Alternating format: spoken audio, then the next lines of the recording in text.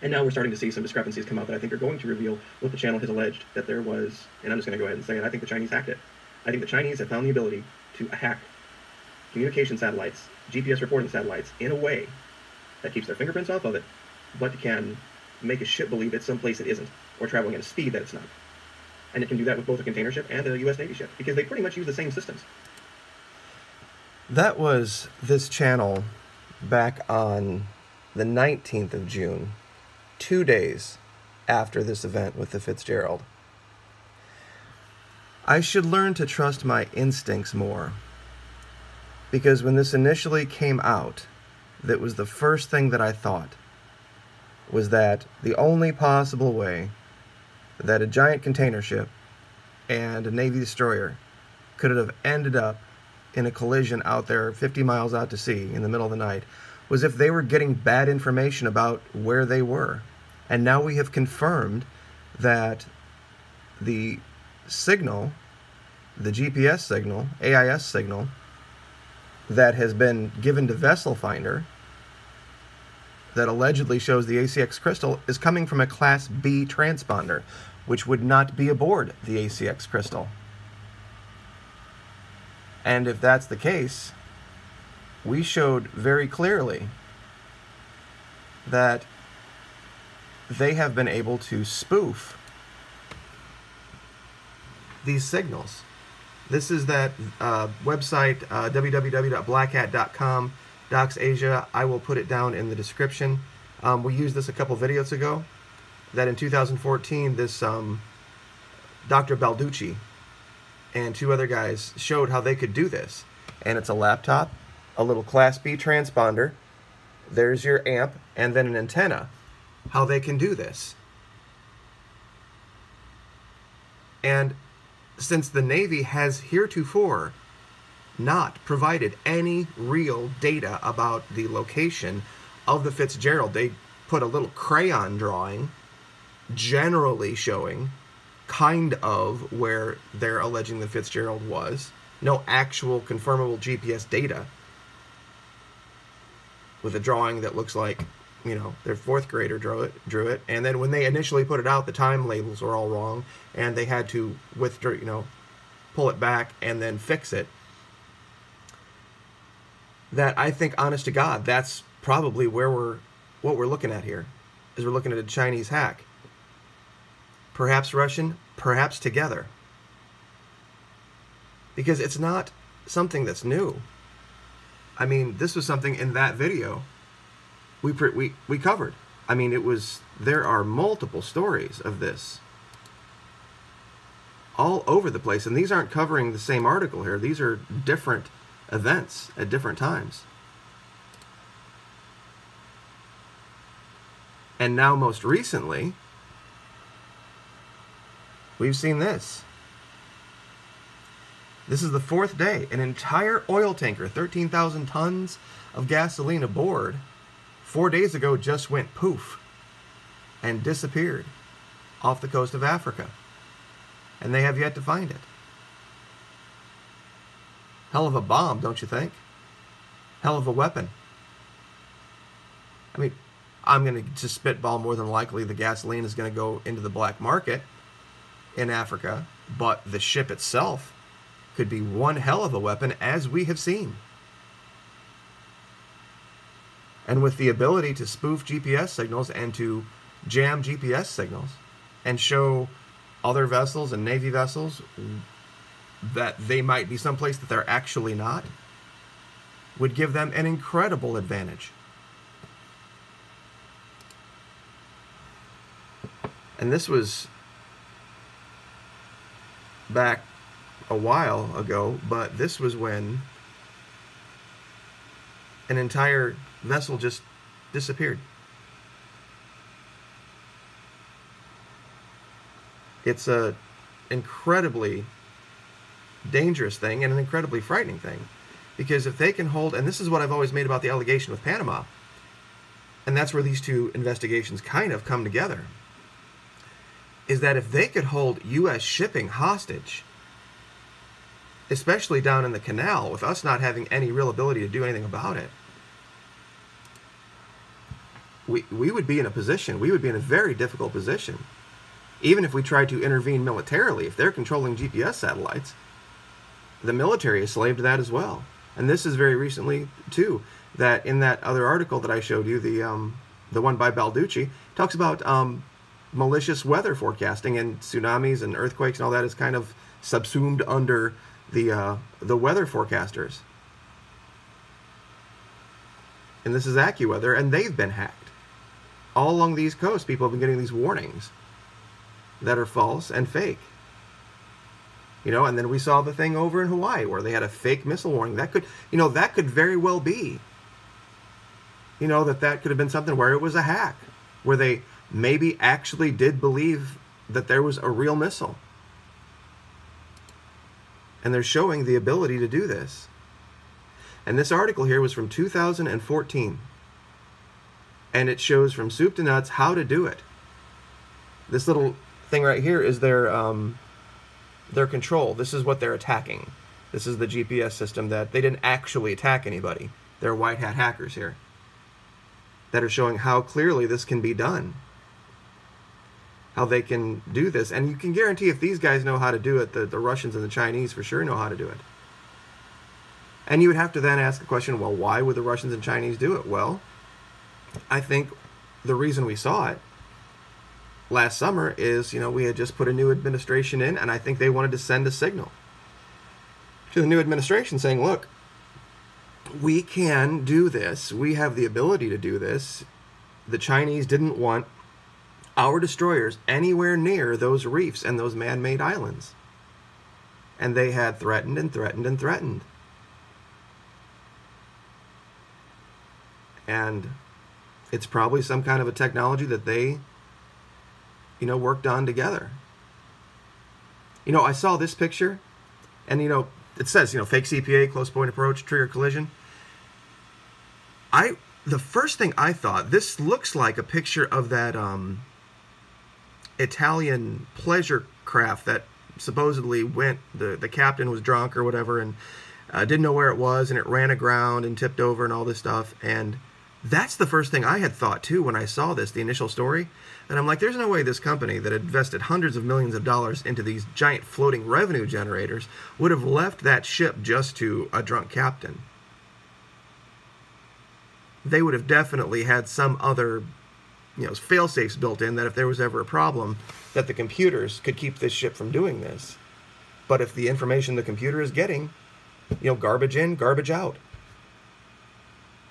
You know, they're all slave to that system, and if somebody's found a way to hack those systems, they control the world. All phones, all electronic devices, everything is slave to those GPS satellites. And here's the thing malicious weather forecasting. You know, and that includes earthquakes and tsunamis and all that kind of stuff. This would just be blocking access, the DDoS. And you know, someone actually stepped up three, going on four years ago, and tried to sound the alarm on this. And say this is what they're going to do. This is how they're going to do it. And I'll throw the link to the report in the in the description so you can read the actual report. This is just a website, um, but there's an actual written report that shows how they're they're able to do this. And way back, the day after, the day after we said this was going to happen. The day before this, we you know we had made the allegation on the 18th of June that this could very well be something like this. And this is and then you know we went down the road the end of June and we looked into all sorts of other things like EMP mines and submarines and all this kind of stuff once new information started to come to light.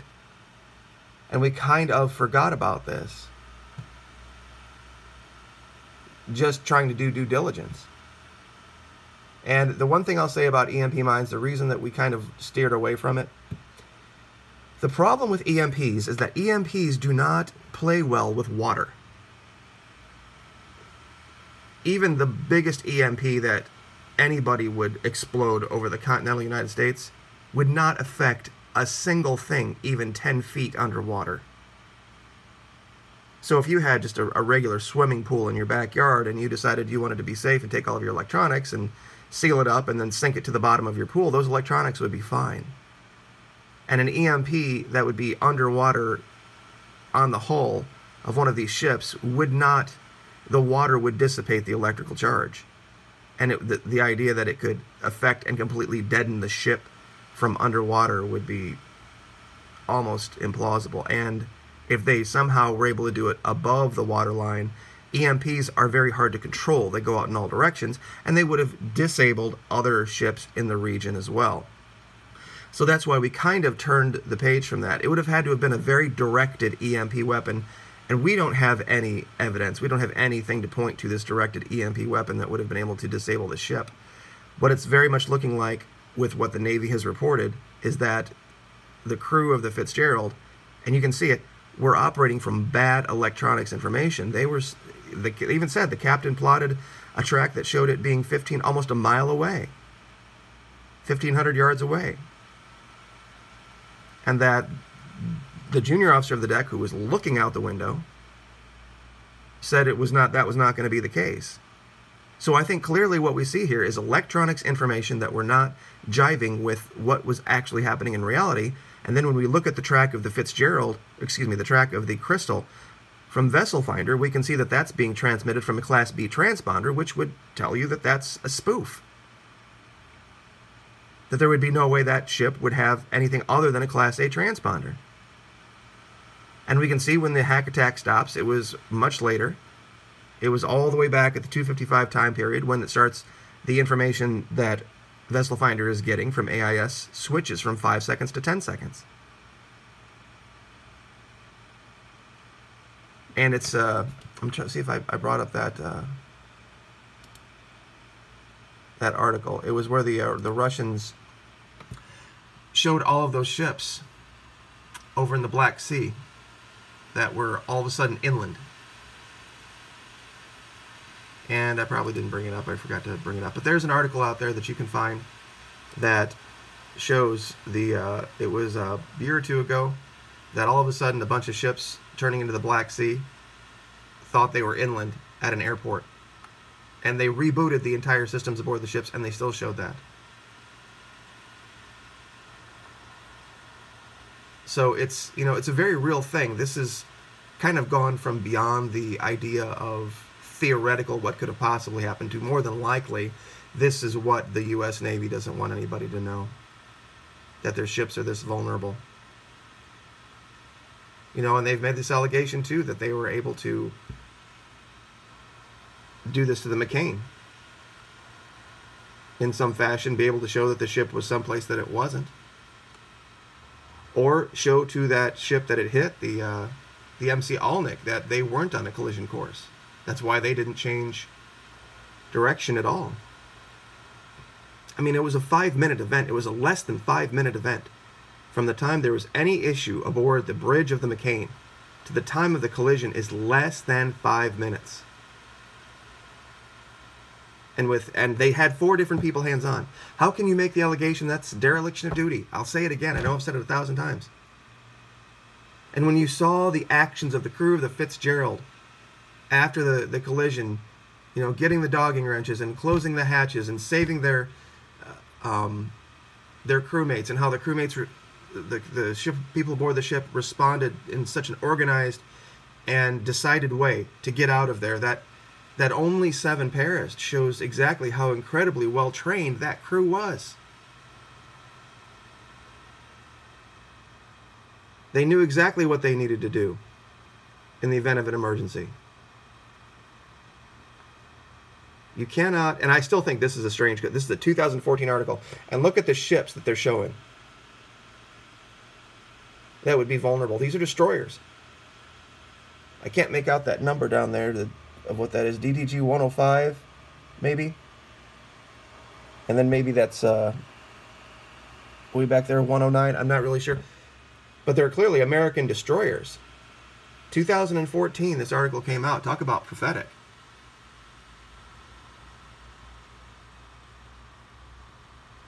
But yeah, I'll put this down and you can read this for yourself. And if you want to look at all these other articles, just Google Chinese satellite hack. How many different times it's happened over the years. And the same people that made that um, article that I just showed you have made this allegation, and this was just this last month.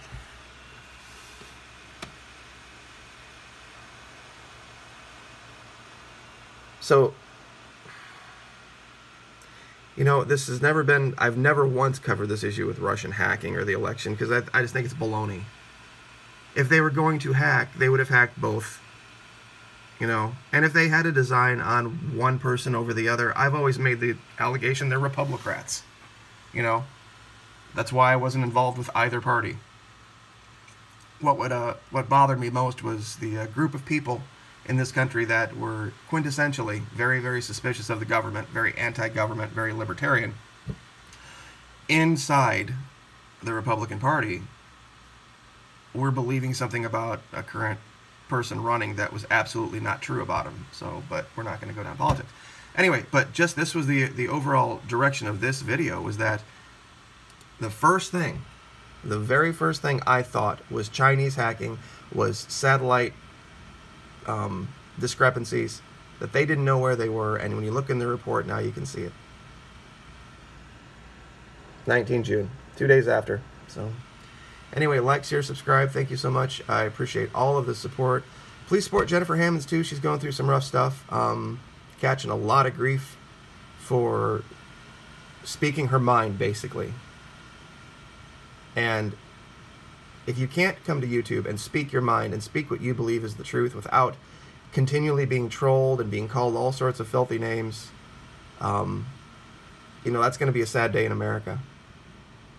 So she's uh, she's barely hanging on. A lot of personal issues going on, and uh, pray for her, support her. You know, Valentine's Day is coming up. Go to her site. You can find it in any of her descriptions, and just buy something from her. I'm not trying to, you know, it's makeup. I don't, what I know about it could fit in a thimble with acres to spare.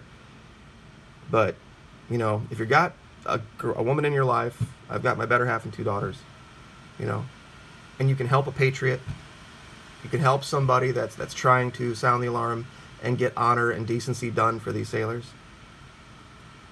And you can have that be something achieved along with doing something nice for Valentine's Day for your, you know, loved ones. You know, that's a win-win. You know, and that's one less thing that Amazon and Jeff Bezos doesn't have. Don't get me started on him. So, anyway, Jennifer Hammonds, um, standing up for the sailors.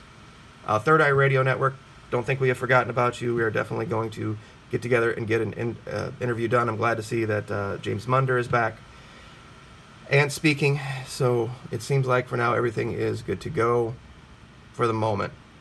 So thank you for all for sticking with us. We really appreciate it. Like, share, subscribe, and we will see you next time. Thank you.